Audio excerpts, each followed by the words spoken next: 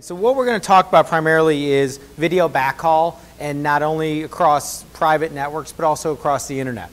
And again, really excited to be able to be here since QVC is a client of ours who is using this application. So we can talk firsthand about that. And Dave will be doing some demonstrations, showing some different stuff. For example, on the screen here right now, he's showing the actual show, the broadcast that is going up, out to the internet, to a media gateway and back down. And this is the actual broadcast that we watch at home. So he's going to talk about that and show some statistics. so what we're going to talk about. We're going to talk a little bit about Haivision. High Vision is not a household name. Uh, we're going to talk about our history, a little bit about us, talk about the application for backhaul, talk about our streaming solutions, and live demo, and then of course Q&A. And I'm the sales guy. They said you got to show at least a dozen PowerPoint slides if we're going to buy dinner. So I got to do that. But Dave's going to do the live demo. No, I'm going to make the PowerPoint as brief as possible. So Haivision, our mantra is helping people work better with video. Whether it's helping people publish video to websites, like a YouTube type site, whether it's helping people stream live across the internet, or moving video from point A to point B. We work in very specific applications to help people become more efficient with their video. And more and more people are using video, whether it's in the consumer space or the enterprise space. in these applications, streaming, recording, management, and delivery. A little bit about us. We have been uh, selected as the Stream Media Magazine's Reader Choice Awards. I think 2014 was our most recent award. That was for our Makito X encoder. Makito X encoder that we're going to talk about are these little gray boxes that are stacked up here that feel free to take a look at those and pass them around. They're not take homes, those are actual units, but we'll talk about those. And then our Haivision Video Cloud. We won an award for that. Haivision Video Cloud is really an end-to-end solution for internet delivery from your source all the way to the viewer on an iPhone, iPad, Roku, Xbox, or whatever it is. We have a complete workflow for that. We are headquartered in Montreal, and we've been recognized by Deloitte for the past number of years for the Fast 500, which is a technology growth award in Canada. And then our clients have gone on to win many awards using our solutions. Uh, IBC is one of the recognizing groups there.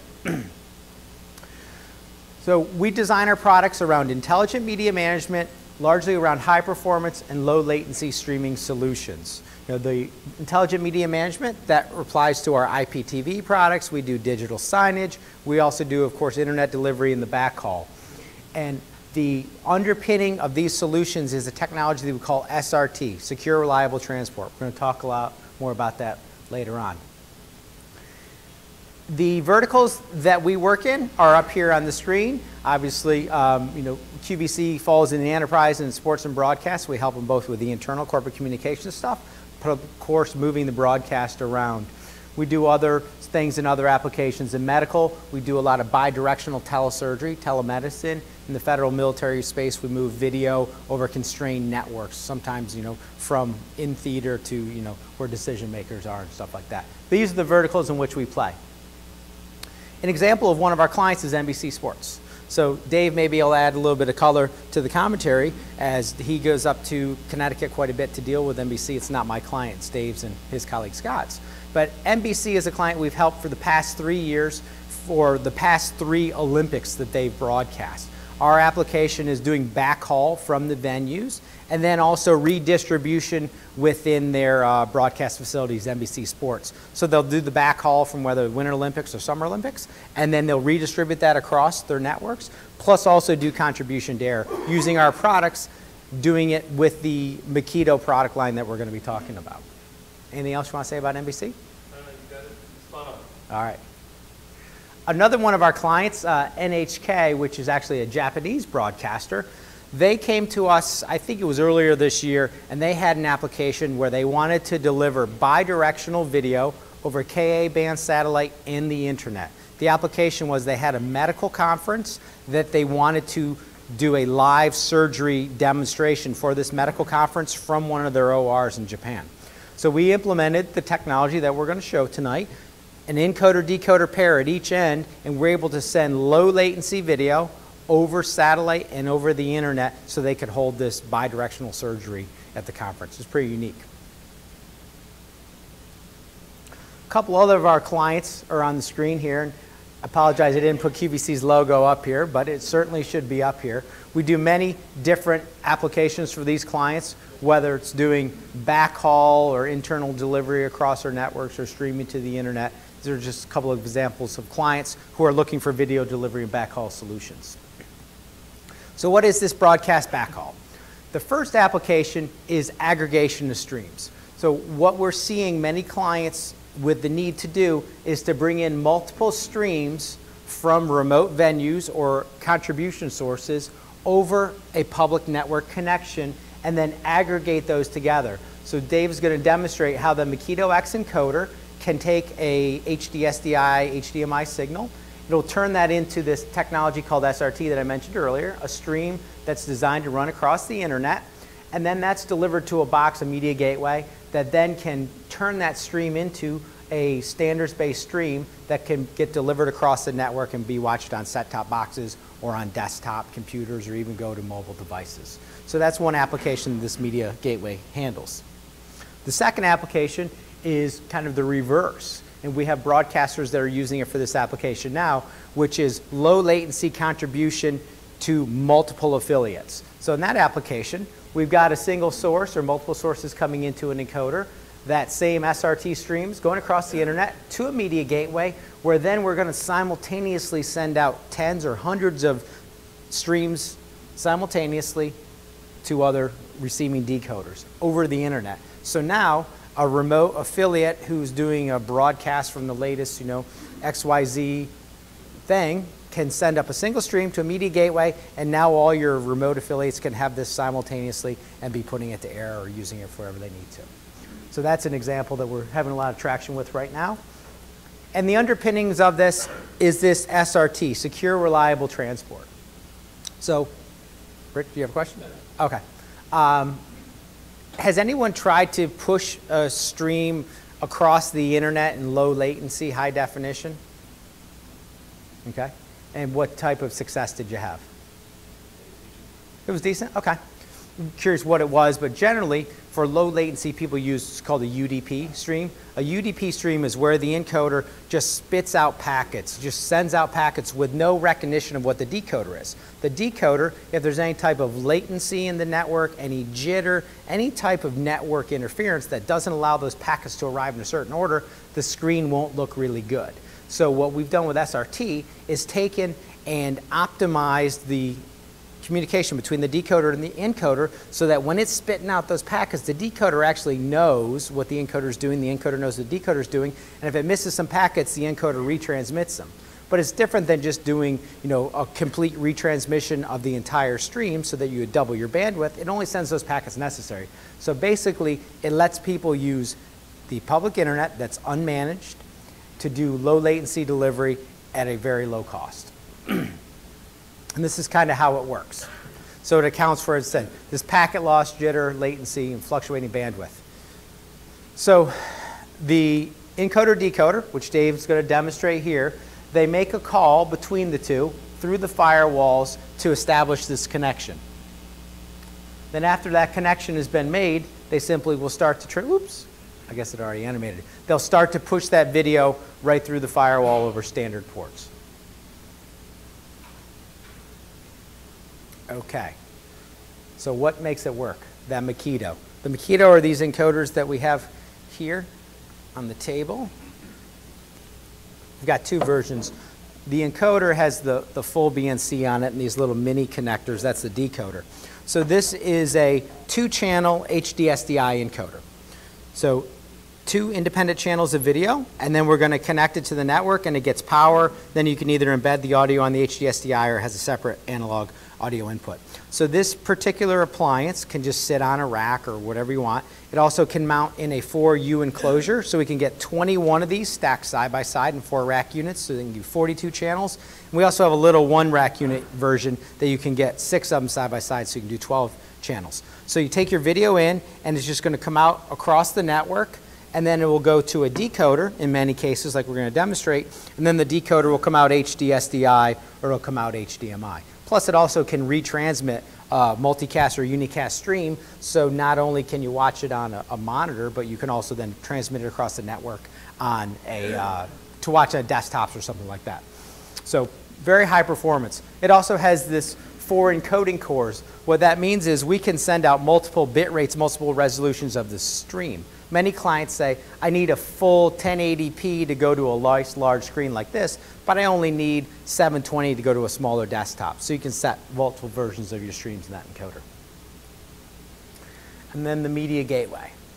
So the Media Gateway is uh, an appliance, and we have one that's hosted that Dave's going to use today for the demonstration. But what this box will do is it takes in SRT or takes in transport stream, and it can flip those and then also multiply the number of streams coming in. So it can aggregate those streams, like one of my first slides. We have multiple encoders coming into the Media Gateway, or it can replicate those streams, bring in single streams, and then send them out. It really helps the system to scale. All right, so why is this important?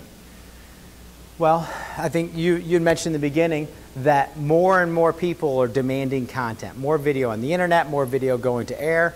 So people want more content, but it's at a cost. Traditionally, the way people have delivered video, and the way many people still do today, is either over an MPLS circuit, so a private network connection that you can have quality of service on. Because going back to that UDP stream, if you don't have a quality of service that you can implement on the network, those packets are just flowing out there and the, the decoder isn't going to receive them correctly. So if you have an MPLS circuit, you can tag those packets so they arrive in the right order. They would either use MPLS or they'd use satellite. Here are some examples of the cost of each of those, and they might be hard to see, but MPLS circuits might run one, two, three, five thousand dollars a month. Where the demonstration that we're showing today, we're using a straight up business class connection from Comcast that maybe costs $200 a month or something like that. And satellite, you know, is really good, but it has a cost associated with it as well. So that's it for my slides. What happens when there are errors on the uh, network? Absolutely. So with using that SRT protocol, the decoder talks to the encoder and it sends has those packets resent to recover. So what we can do is we can build in a different buffer level on the decoder based upon how much network congestion or how much network you know error there is. And Dave will talk about that and show that on the demo. Okay. Dave, you're up. Right. So we have you seen with the Makito X uh, encoder and decoder? What we have here in the setup is we have the uh, SDI feed that's uh, the original uh, source material that we're seeing here, tuned in here. We have a Makito X encoder, so similar that we have on the desk there, is sitting right here. So it's receiving that video stream. Uh, sorry, not video stream. It's receiving that SDI uncompressed 1080i 2997. And from there, we're compressing it. So low, it's an H.264 low latency encoder. So it's compressing that video stream. It's sending out what we call this SRT protocol, which effectively is a transport stream with additional encryption and error recovery. And so it's sending out that SRT stream onto the network. And from there, um, we're actually sending that stream to a media gateway. It's kind of like, think of it as a reflector. So it's receiving this SRT uh, at our Montreal headquarters. And from there, we're sending back that SRT stream to a decoder. So think of it as going out onto the internet. So using that Verizon, that public Verizon line, a public internet line, going across the, uh, going across the internet to Montreal and then back down uh, using that same Verizon line to come in uh, so that SRT stream is coming in to the decoder now and then being flipped out uh, SDI and HDMI. And we have that HDMI plugged into this screen here. So you can see that the, we're maintaining uh, low latency. So in that, you can see it's about sub, sub-second uh, latency as we compare the two screens. Right? So this is the, the output coming from the, from the decoder across the internet. So going up to Montreal, back down. We're encrypting it AES 256-bit encryption. So we're encrypting that video uh, to ensure that, because we're going over the public internet, if anyone wants to, you know, snoop in, listen to that, to those streams, they can't. They won't be able to actually see what's going on uh, with that content. So if you want to secure that content, we're doing that with uh, AES 256-bit, and we're also uh, maintaining that low latency.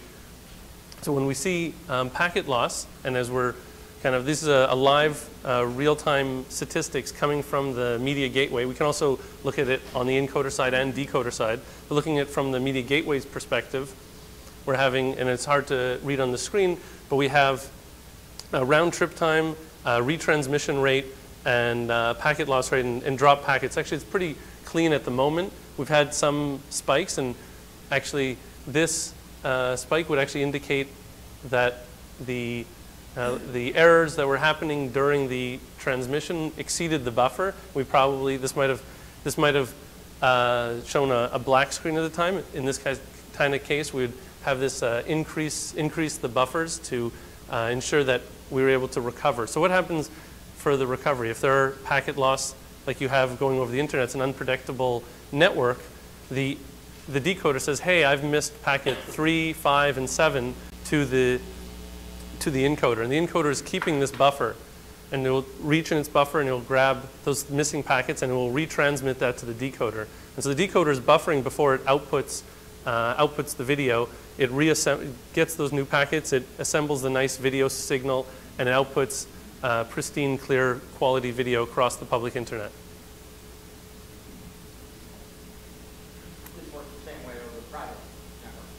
Oh, definitely. Yeah, yeah. So whether you're private or public, uh, you, you, you're benefiting from the same type of technology, and it can handle up to, like say, eight seconds of. Uh, you know, you could actually literally pull the plug, uh, re-plug it back in, and you'd still see. You know, as long as the buffer has not uh, exceeded exceeded your threshold, you'll be able to still see great-looking video. From here, I can uh, demonstrate, go into the actual web interfaces of the, the encoder and decoder. Um, do, you want, do you want to do the side-by-side SRT? Sure. Actually, yeah, I can do the SRT. So what I'll show what uh, video, kind of side-by-side, what video looks like between uh, a signal that has packet loss on it and what SRT is doing cleaning it up. So I'm just going to do some, uh, yeah, some cable changes. So what I'm doing now is I'm actually, I'll just take a step back here and logging into the, uh, the web interface of the encoder itself. And from our, our encoder, um, there we go. I'll just expand this a little bigger. Right, so we have a, a video stream, a video signal coming in to the video signal coming into the encoder. We can see uh, 1080i 2997 right? We can see that video source that's coming in. We can actually drill down and set the bit rate that we want to. Uh, from here, I've set it uh, what I'm interested in. I'm going to go to the output. I'm going to turn on the turn on the stream. So I'm going to setting on uh, stream's already going across the internet, but I'm going to send a, a multicast stream uh, just for my purposes of this test here. So I'm going to send a, a multicast stream. So this is a transport stream over UDP, right? So there's the SRT protocol, and there's also just a standard, what we're familiar with, MPEG transport stream. So I'm sending a, a multicast transport stream, and I'm also sending a, uh, I'm going to go to the decoder, and I'm also sending an SRT stream as well. That multicast transport stream, that's the one, that's the stuff that the packet. The encoder doesn't have any recognition what the decoder is doing. So that's going to be the one that's going to show the packet loss, how it affects the video.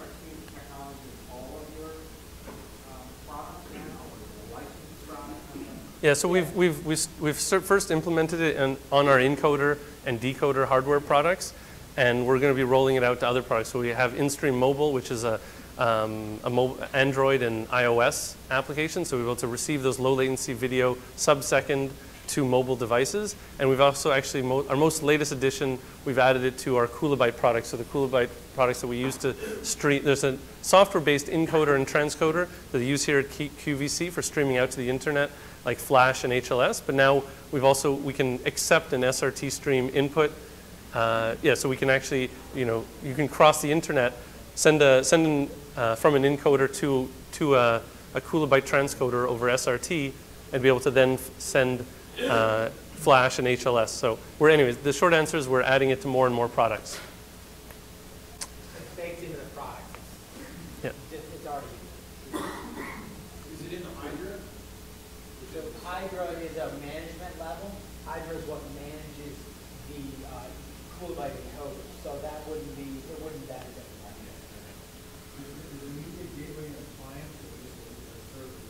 So it's available both ways. It's either available as an appliance or as a license that you can virtualize.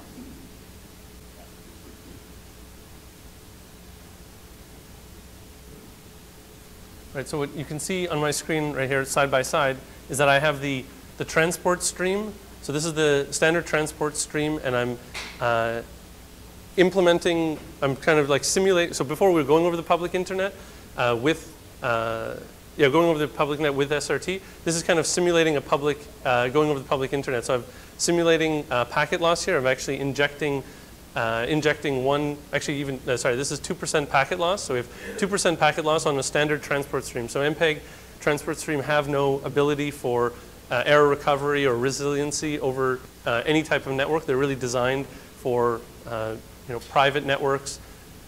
So we can see that it's, you know, it's completely falling apart, you know, unwatchable or unusable. There's breakup, there's uh, macro blocking that are, is occurring. And here's the SRT side by side. So we see that you know, there's no, none of those video hiccups, none of the freezing or pixelation that we're seeing. We're seeing the SRT uh, do its job. There's a little more latency on the SRT with that buffer. So it's got a slight buffer on the decoder to be able to retransmit those packets or let the packets come back in. So Yeah. You said the buffer was eight seconds, is that the max you said you started at? or- Yeah. Is there a maximum? Yeah, no, I said eight. I Yeah, say eight yeah, yeah, yeah, yeah. So yeah, eight seconds is the is the max buffer that you can set on it. So if, if, if, uh, you're transmitting, if you're missing packets like one, three, five, and seven, as you said, Yeah. how long does it take for that information to go back say, I need this, and then come back again? Yeah, so this is why when we're saying to configure um, to configure SRT, we say the, the round we take the round general as a rule of thumb. We'll take the round trip time, so the time it takes to get there and back. Uh, we say multiply that by four, so there's enough time for the encoder to tell the decoder, or sorry, the decoder say I have a problem with the encoder, and the encoder resend that those packets out. So in this case, going, I don't want to show. This is over this LAN here.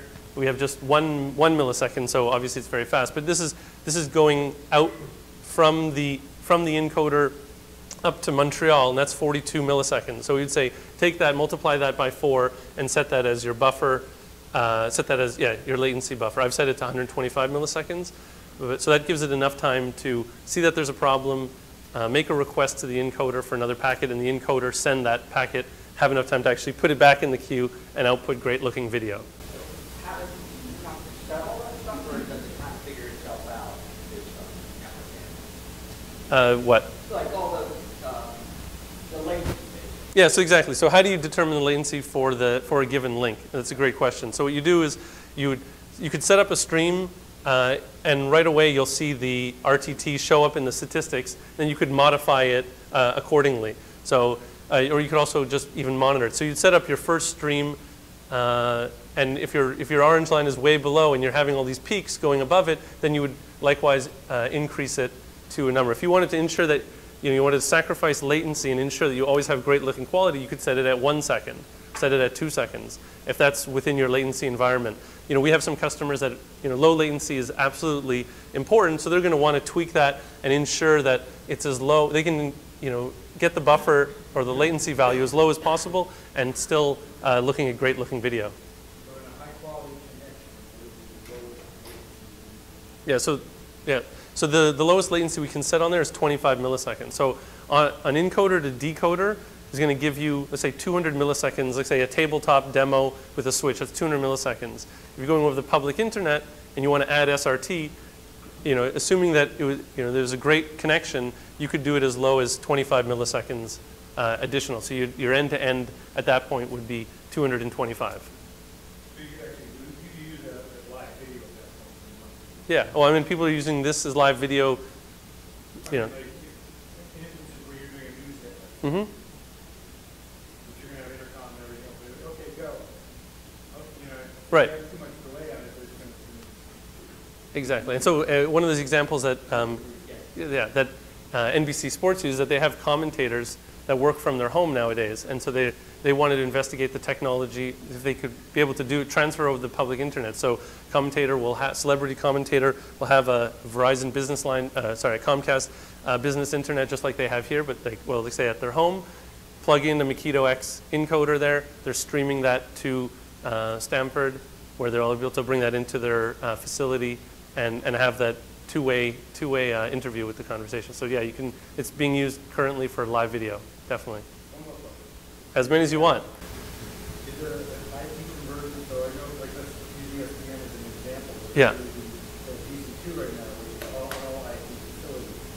Are you able to take your SD stream from this camera, your news kit or whatever, and keep it in the IP realm until they're ready to decode it uh, with their own equipment, or does it have to go through like a, a Makito decoder, or can you use a, uh, is there any other Yeah. solution that you can use? Yeah, so our, our media gateway, that, that product that I'm using to send and come back, another configuration uh, that I could actually open up a slide on is, is exactly that scenario. So uh, let me go over here. Na, na, na, na, say here. No, not that. Uh, we call it the, uh, the so let's say you have say you had previous generation Haivision encoders that don't have so this this SRT technology is only on our Makito X, our latest and greatest encoder. But say you had previous generation encoders, or as you're saying, third party encoders. Uh, you could put that here. So yeah, I was at uh, where was I at? Uh, actually, also NBC uh, NBC Universal. They wanted to test out uh, their Cisco 90, uh, 93, 9 9360. uh, Sorry, I forget the exact model of encoder, but it was giving me a transport stream, and I had actually this laptop running the media gateway uh, in a VM. So I, I received the transport stream. I sent it up to Montreal Media Gateway, just as I am doing here. So imagine this is in Montreal. So this is my laptop. I SRTified their transport stream. I sent it to Montreal, sent the stream back down uh, to my media gateway on my laptop, flipped it out transport stream, and it went into their Cisco DCM, and they were able to then use it as they normally would. So yeah, you can take third-party transport streams, and that's really one of the beauties of SRT is that we're not, we don't even care what the codec is.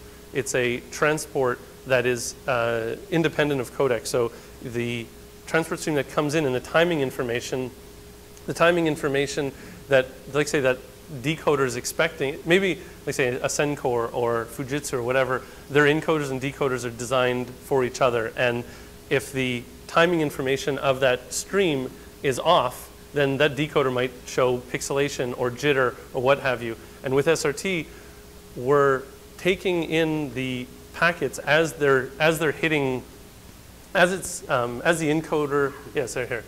As, as the stream hits the as the stream hits the media gateway, we're also looking at the the packet order and the packet timing, so that when we spit it out, uh, transport stream, we're putting it back on the wire just as we received it, so that decoders, whatever's downstream decoder, um, will be able to uh, handle it just as if uh, this whole piece didn't exist and there was just a cable between that encoder to that decoder. Now, with that said, we're not guaranteeing right now uh, uh, certifying uh, we, uh, just as far as because it is a, a new product we haven't certified with every single encoder decoder combination out there.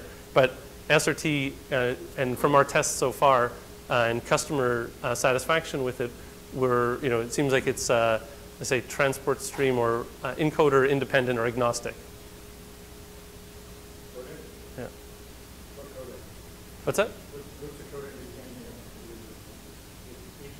Yeah, so all our all our products are H.264 and H.265. So the encoder, the Makitos here are H.264. What Yep. if you have multiple streams, or let's say multiple camera inputs? Mm-hmm. Can you set the devices to, uh, they have the same latency? So you have two or three of those devices. You have to physically set each one, of them, or one can, one acts as master? Uh, yeah, so there's a there's a latent so you can't do a master thing. You, there's a, a latency value for each uh, for each stream. So you'd you'd set it equivalently to each of those uh, each of those video signals. What, what is the use case that you're? let's say you have, uh, three cameras out somewhere, and you want to use three channels, or four cameras, you have Mm-hmm. four channels of that, and bring them back in. studio, then You want, you want the latency to be the same, Mm-hmm. for that and all the cameras. Yeah, so you'd, I would say you'd set you'd just set the latency uh, to be There's no master control. Yeah, there's no master control.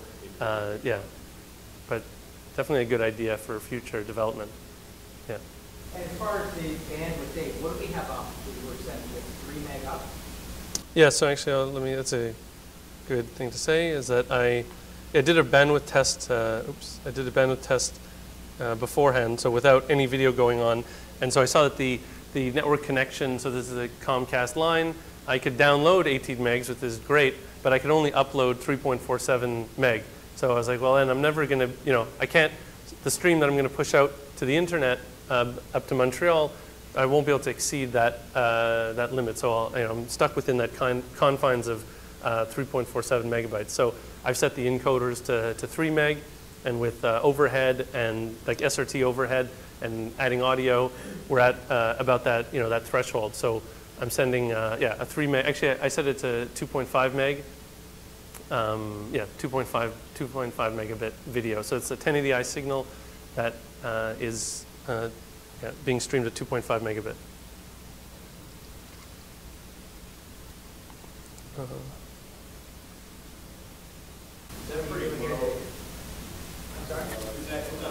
That's, that's low. That's, I mean, we ideally would like more. Yeah, that's weird. yeah, exactly. So yeah, if we had if we had more, we'd we'd love more, and you'd be able to see. You know, we, if we're just doing a tabletop demo, uh, I could you know bump this up to 25 megabits. So the encoder itself uh, can go anywhere from 32k all the way up to 25 megabits per second.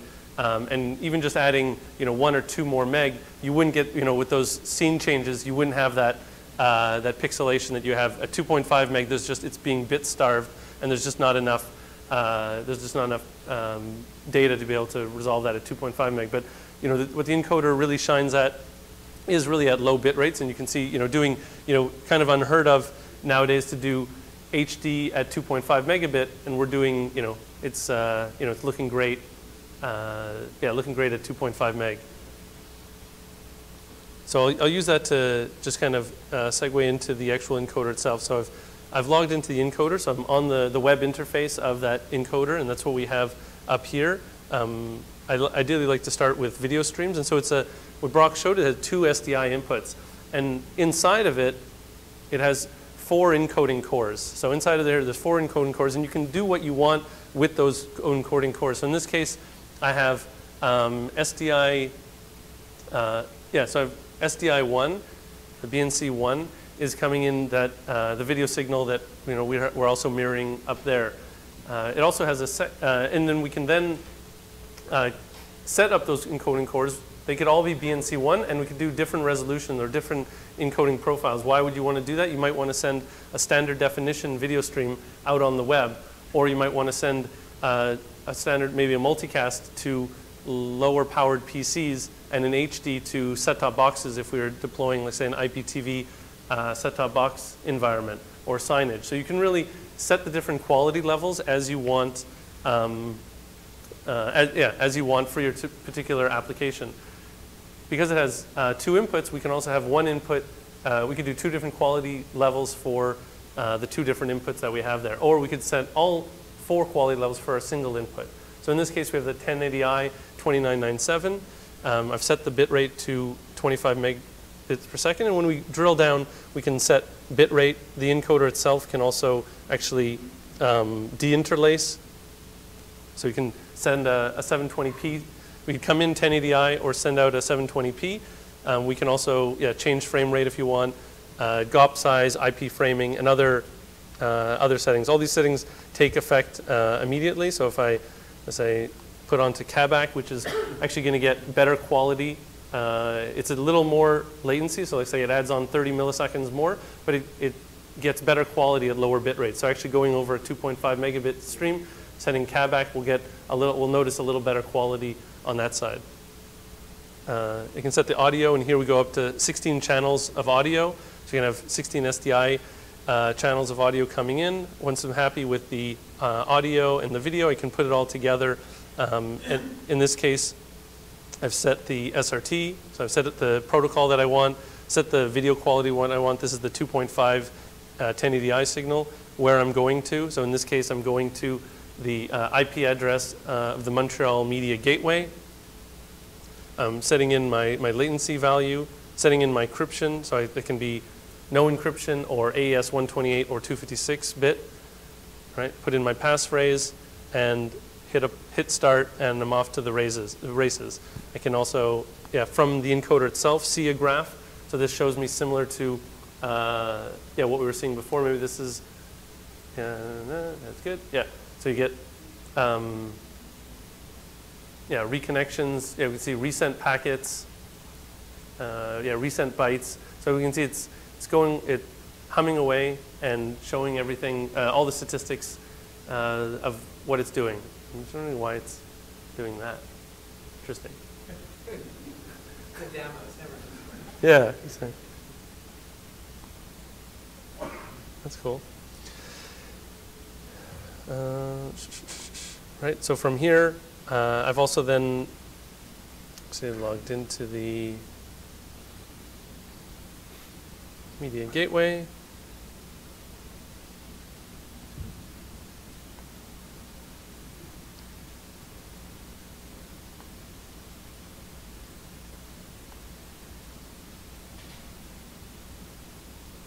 Oh yeah, that's why. Yeah, so I'm actually messing. Yeah, that's what I forgot to do is. Yeah. So I'm actually shooting myself in the foot. I was sending a multicast stream on the uh, what is it called on the Comcast. Yeah. So I discovered earlier that the the Comcast router itself doesn't like any multicast. So when I send any multicast on the Comcast router, it uh, it messes everything up. So this should uh, correct itself, and should be good. The stream from Montreal. There we go.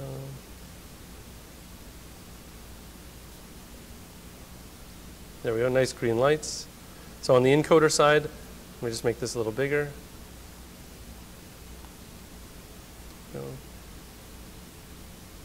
Yeah, so on the encoder side, it's uh, yeah, simply just telling the uh, the media gateway what to listen to. Why is that doing that? Uh, what what to listen to. It's coming in. Uh, likewise, I'm setting up my, my latency value and passphrase, and I can have really as many decoders as I want uh, or destinations. So in this case, I'm just kind of reflecting it, and I'm sending it back to the to the decoder over here. Because you said that CapEx was. That's a good question. Uh, I'll have to look at the. I'll have to real time uh, troubleshooting here. So let's see.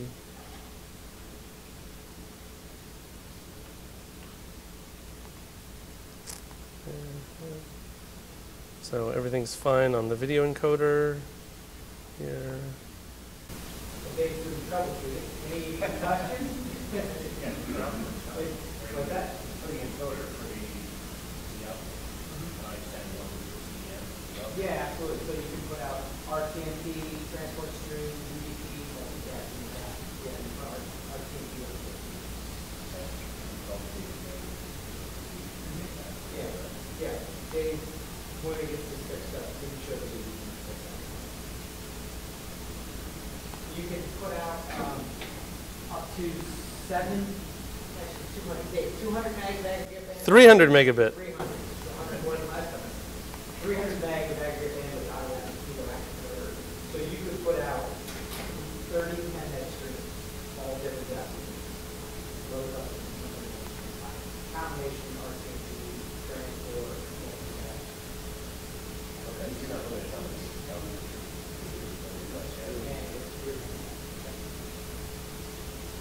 Did I fix it? Okay. I started and stopped it. No, I didn't have to reboot. I had to start and stop it. Um, that's right. So where was I with the?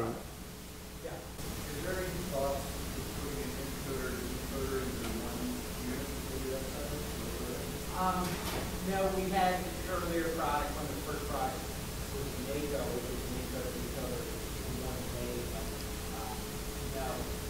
still, they're extremely small, you know, it'd be one U, one U high and third the U wide.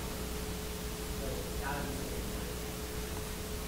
the. Yeah. So I just wanted to say yeah. So we have and we have a, a one RU chassis. So it basically taking those blades out and you can put it into yeah encoder decoder in a single one RU and you can actually mix and match. It really applies power. So you could have as many encoders or decoders in the six six slot chassis, but not a single single blade.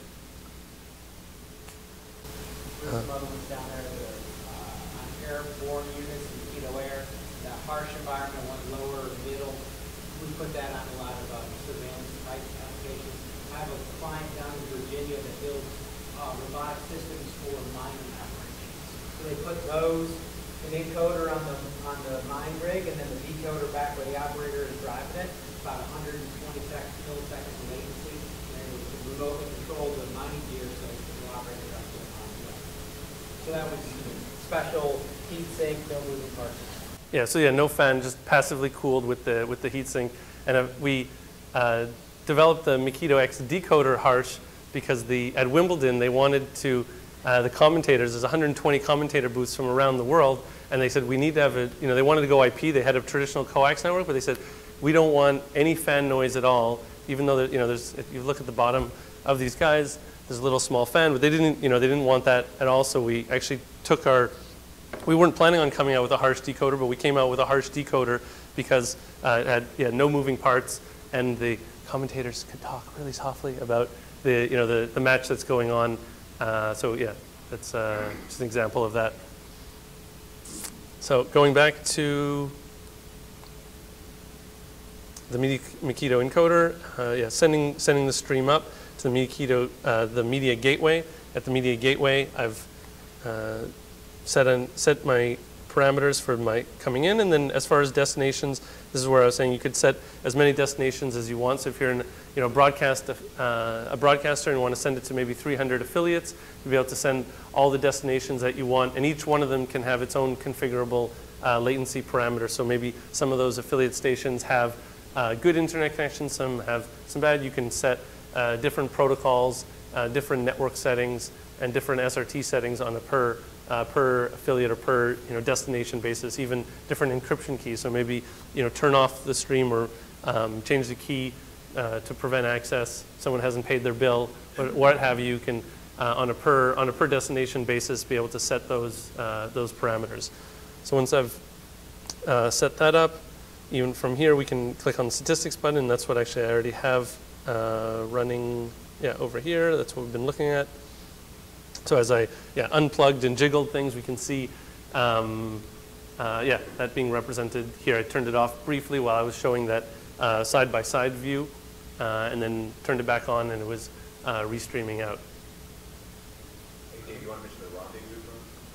Yeah, thanks. Yeah, so for sure, the, uh, the different SRT comes with a bunch of different flavors, and we, we designed this to allow for, um, make it very easy to traverse firewalls. And why are we doing that? Because right now, if I wanted to, uh, actually, I, I use this mode uh, while setting up here without having to log into the Comcast firewall uh, router and uh, set up port forwarding rules to get back into the network. What I did was I set both as a caller. So both the encoder is pushing a stream out to the media gateway. And so typically from a firewall, you can always uh, actually, you know what? I'll use a slide to prevent that, to, to demonstrate that. You can always uh, call out, right? So firewalls uh, typically allow traffic out, um, but they don't allow traffic back in. So in a case where you have, um, yeah, let's say a, a known firewall on one side, maybe this is your head end, and you have this decoder out in the field, the uh, traditionally the encoder is pushing to a decoder, but we can actually have the and even without a media gateway, this is just one-to-one, point-to-point, you can have the, the decoder make a request out. This is similar to the RTSP protocol where I'm making a request. So the, the, the caller says, hey, encoder, I want to send you a stream. Uh, sorry, what I'm saying? the decoder says, hey, send me a stream, and the encoder follows suit with that. And what's happened here is that you haven't had to bother the IT department to say, hey, can you port forward uh, traffic coming from my encoder inside? So maybe you're at a hotel venue or you're at some venue where you don't you cannot or don't have the time to work with IT to open up ports on their firewall to let the traffic in, I can send the decoder to say, hey, make a request to the uh, encoder, and the encoder will send, send a stream using that, that port combination. So we're, we're, using, we're making it very easy to traverse firewalls. Another, so that's caller listener, and we've also set up one called rendezvous. So maybe you, you actually have your encoder and your decoder are both behind two unfriendly, unknown firewalls or unfriendly IT departments that, uh, or sl slow moving, uh, slow, yeah, no, it never happens, but slow moving IT departments and you need to get uh, live on the air. Well, you set our rendezvous mode. And what does that do? Is that the encoder makes a, a request out. So the firewalls, you know, they let, they traditionally let requests out. The decoder makes a request out as, as well. And because they're both using the same ports, the firewall, we're kind of tricking the firewalls. The firewall said, hey, uh, traffic went out that port, I'll let traffic coming back in. Just like if you were a PC accessing Google website, then Google's going to respond back. So because we've tricked the firewalls, we can now then get the video to go to go right through without ever having to uh, interfere with uh, or ask IT to make connections. So in this case, no insecurity in here, is there? Like, security? Don't put the firewall weapon. Right? So, yeah, so similar like how Skype just works, how a connection is just made with GoToMeeting. You know, you, you don't even have to configure any firewall rules. We've done the same thing for sending live low latency video across networks with the encoder decoder. And the media gateway sitting in the middle is doing the same thing. So I made uh, a call out to the media gateway. I made the decoder made a call out, and I didn't have to configure anything on the, the Comcast uh, router firewall.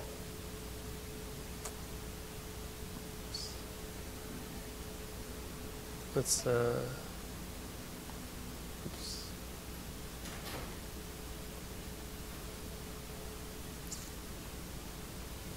Yeah, so that's what we see here in the, yeah, in the different modes. You can just set rendezvous, listener, caller, depending on your configuration and how you want uh, the different, uh, yeah, if you need to get through a firewall or not.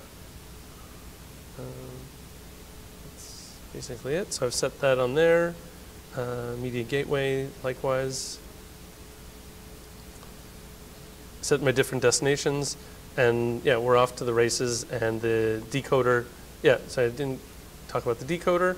So on the decoder, we kind of start from the reverse. So you set up the stream that you want to uh, tune into. In this case, I've uh, set up, and you can set up as many, kind of think of as channels, and then you're tuning into one, or in this case, we have a, a dual decoder, so I could be decoding two simultaneous streams, right? So we uh, tell the protocol we want the decoder to listen, uh, to tune into, in this case SRT, and this is what I was talking about, the caller mode. So I'm making a call out to my media gateway and then tricking the Comcast firewall to let me back in, uh, set the passphrase and the latency that I want. Uh, I can actually even flip the stream, so I'm backhauling it across the network point to point with SRT, and then I can actually flip it to transport stream. And I, this could be a, a unicast or multicast address. And so we're actually backhauling across the internet and then flipping to UDP. So you could bring this into maybe third-party utilities or even just tune in with VLC or uh, you know, the DCM, whatever you want. You can actually flip it. So not only is it coming out baseband SDI, but also uh, transport stream as well. Uh, once I've done that, I simply select the interface that I'm interested in tuning into, in this case, and the channel that I want, this the reflected street from Montreal. I'm coming, and then as soon as I hit apply, these uh, fields auto-populate with the resolution, the frame rate, the protocol that's coming in, and uh, and that's it. The the decoder itself can downscale and deinterlace, so we could use the downscale and deinterlacer on the on the decoder if we so choose. Otherwise, we'll output the 1080i signal that's that's coming in. Um, I'll flip to the live camera, and we have a live camera right here. So um, I'll just go over here, move it to BNC2,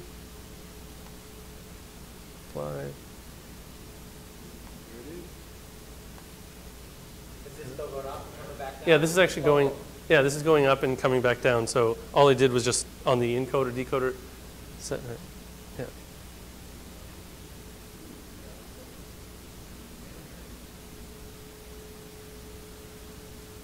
We can see the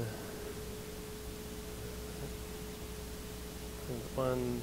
So again, that, that sub-second, that latency that we're having and going over the public internet, back up and back down, and it looks pretty damn good. You I'm- both streams going up and down? no, just one. That's why I just flipped. That's why I just flipped the inter in Okay. the interface. So yeah, I could be streaming from both interfaces, but we just don't have the bandwidth here. Right? So you guys can come up and see if you want to see the close up, if you want to see the videos. Quality. But that's uh, you know you saw it before with the QVC uh, image, and this is uh, you can see the latency of it going up and back down. Uh, actually, cross country, international, and coming back down to the decoder here. Get it stopped before.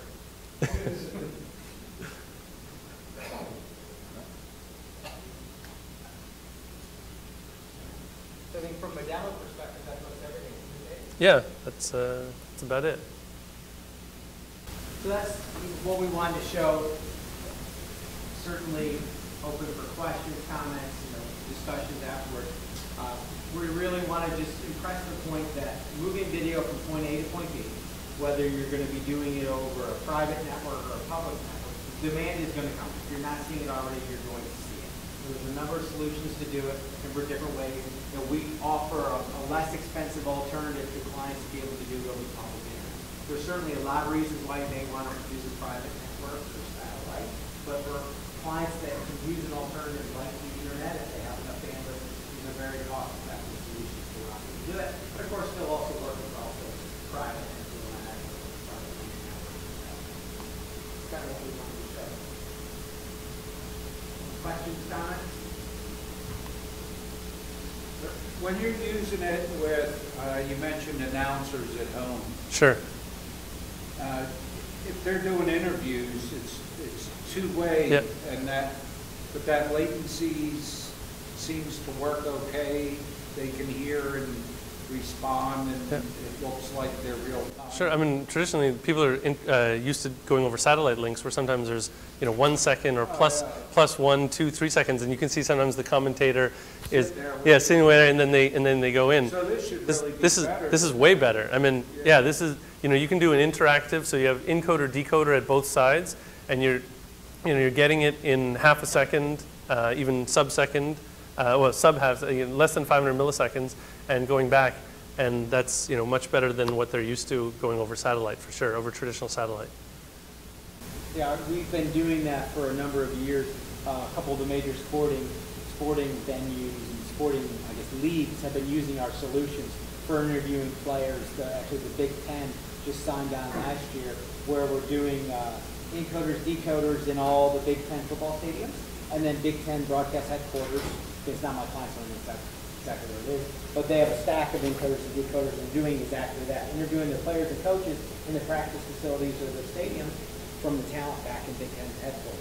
We've been doing that with the NFL for years too. Yeah, so MLB, NFL, uh, Azuro use our solution. So they're using our Haivision encoders, decoders to be able to put the uh, basically this encode decode at the NFL practice facilities, and they're sending it all back to Culver City, where NFL TV is running the the interactive uh, interview, and they've been doing that for yeah I don't know five years or so, and then just most recently, NFL had a, they wanted well for last season they wanted to do the remote replay uh, consultation. So all the all the stadiums, the 31 stadiums, taking that video um, oh, that's my laptop, taking that video and having the head of officiating in NFL headquarters be able to watch, uh, consult, look at the play, review the replay, and when the referee, even before the referee gets under the hood, they've already reviewed that video a number of times.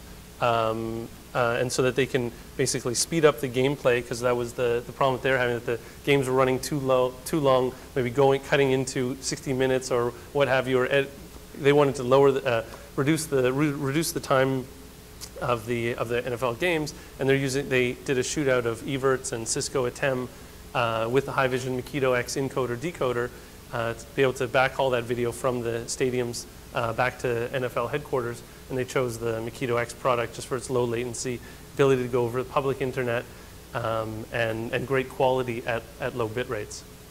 And there's no way to run any kind of uh, control information across, it's strictly just the audio and video, right? Uh, what type of control information are you thinking? I don't know, if they um, wanted to remotely control part of their stuff with like an IP interface or uh, USB, remote USB Sure. to something, it- Right. are there any, there's nothing else that goes across? Well, so right now, I mean, in that, so right, the answer, SRT itself doesn't care about the, uh, whether it's a transport stream in there or um, some other protocol.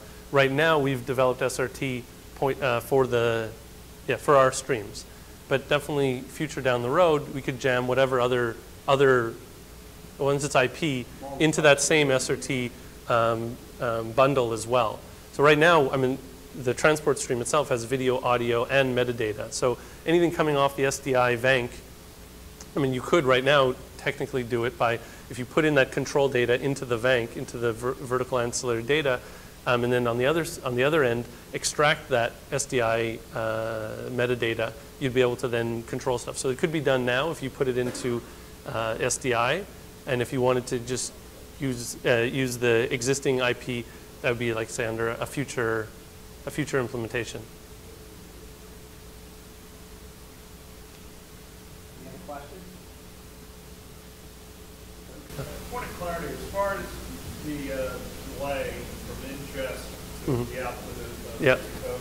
is that basically what you're defining as setting the latency? So the stream consistently is what, delayed by whatever that latency setting is? Yeah, so, so say you're not using SRT here and you're going point to point, your latency would be, say, 150 millisecond encode time. So as soon as we're, you know, getting that SDI uncompressed video and hitting the wire is 150 milliseconds, then you'd have whatever the network is introducing. So let's say this is uh, Westchester to LA, let's say it's uh, 100 milliseconds or 50, let's say 50 milliseconds. So now we're up to 200. And then the decode time, uh, so without SRT, decode time is 15 milliseconds. It's very quick. So we're, you know, let's just say 50. So we're at um, 150 uh, plus 50, 200 and 250. It was coming out uncompressed. Once you do the SRT piece, we're simply adding on a little more on the decoder side. So whatever you're adding, whatever we set that latency value to. So if we set it to 200 milliseconds, then now we're up to you know uh, 450. But that would re- remain consistent Yeah. all the time, not Exactly. Exactly. There was a, you know, we're definitely lowering the barrier entry to be able to provide high quality video, really, yeah, virtually anywhere, whether it's, yeah, interactive, multi-point aggregation, multi-point distribution. You know, all you need, yeah, public internet lines, which are much cheaper, be able to deliver that low latency, high quality video. Point, uh, I was UK from the, to do a live show. We dot program UK. We the here for the programming video, and the- the delay was about maybe three seconds. So from reaching out of Westchester, fiber over to London, England, and then back, come with the Makito decoder for a program return for the code here, probably the three second delay. Do you want to actually put the show, the grid up there? Is this it?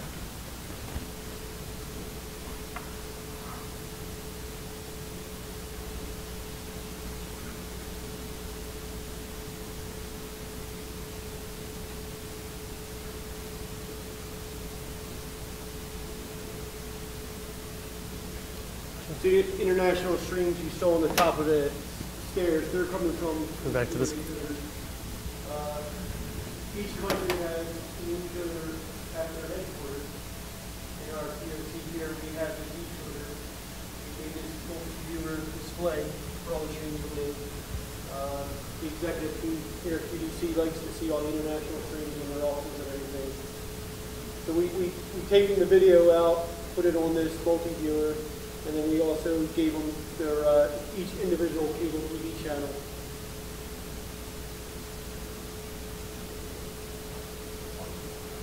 So we have Japan with a multi-viewer, and they each have their individual, uh, cable TV channel.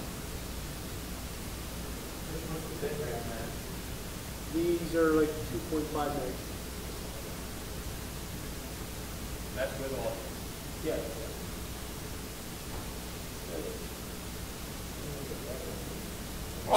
Italy, uh, Germany. UK. UK, UK is coming on our corporate network.